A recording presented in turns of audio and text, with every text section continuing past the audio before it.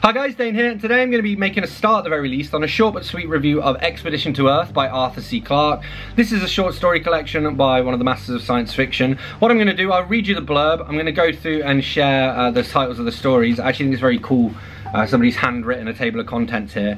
Uh, then I will uh, check out my tabs and I'll share my overall thoughts and rating at the end. So, Dane reads. Earth civilization was long dead, but dying, a message to the future had been left. A time capsule on the summit of the highest peak in the only mountain range to stand clear of the returned glaciers of the last ice age. The accumulated experience of those who had called themselves mankind had been reduced to a few fragments, clues to how it had been.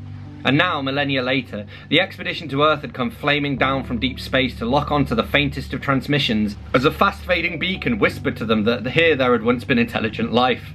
Expedition to Earth, the title story, one out of 11 superb science fiction stories by Arthur C. Clarke. So we have Second Dawn, If I Forget Thee O Earth, Expedition to Earth, Superiority, Nemesis, Hide and Seek, Encounter in the Dawn, Loophole, Inheritance, and The Sentinel.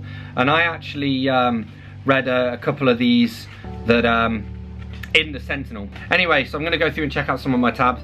To be honest, because Clarke is mostly in ideas, man, I don't think it really matters what stories these are in. I'm not going to talk a huge amount about the plots or anything. So I thought this was cool because it talks about how uh, the food supply is fixed and populations aren't, which is one of the problems we're experiencing now with overpopulation on the globe.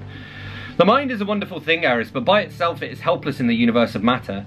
We know now how to multiply the power of our brains by an enormous factor. We can solve perhaps the great problems of mathematics that have baffled us for ages.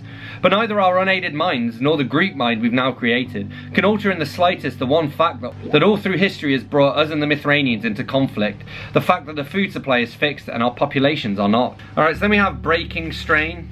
Um, and this is the one that I'd read elsewhere. The guy's smoking a cigarette in space, which seems very unlikely. But I did like this line, news that is sufficiently bad news somehow carries its own guarantee of truth.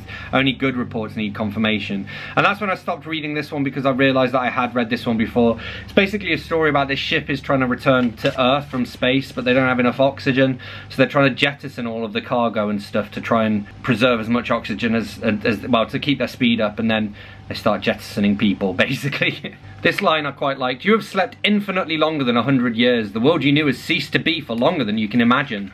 Um, and that's how I feel sometimes when I wake up. So here we have a tab from Hide and Seek. So they're called squirrels tree rats on the grounds that people are too sentimental to shoot squirrels. And they need to get rid of them because they're considered pet. I quite like the phrase lumps of cosmic slag as well. I thought that was good. I like this little sentence here. Uh, there were times now when he almost wished he were a robot himself, devoid of feelings or emotions, able to watch the fall of a leaf or the death agonies of a world with equal detachment. And that is all I tabbed out of this book. So as you can tell, I didn't have a huge amount to say about it. It didn't help that two of the stories I'd already read, and uh, the one that, the first one that I mentioned is probably my favorite Arthur C. Clarke story. is very well done. Um, but without those, the remaining stories are just air. I gave this like a middle of the road 3 out of 5. I don't think it's uh, Arthur C. Clarke's best. I've only read like a handful, maybe a half dozen of his books so far, and even those are enough for me to know that you can do a lot better than this. So I wouldn't recommend this one unless you're a, a big Arthur C. Clarke fan. Um, if, you, if you're new to his work, try one of his more popular books first before you get to this. So we have it, that's my short and sweet review of Expedition to Earth by Arthur C. Clarke. As always, don't forget to let me know in the comments what you thought of this book if you read it. Hit that like button if you've enjoyed this video, hit that subscribe button for more, and I'll see you soon for another bookish video. Thanks a lot. Bye-bye.